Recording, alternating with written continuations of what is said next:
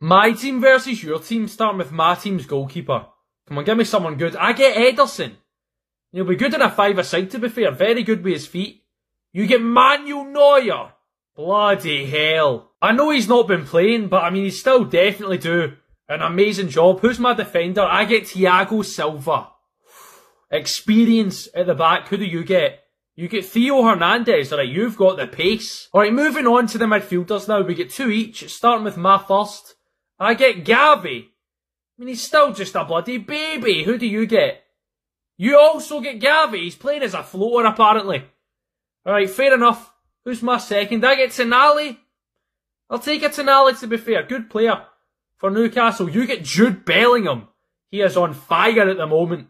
Alright, and finally, who's going to be scoring them goals? Who's my attacker? When I get João Felix.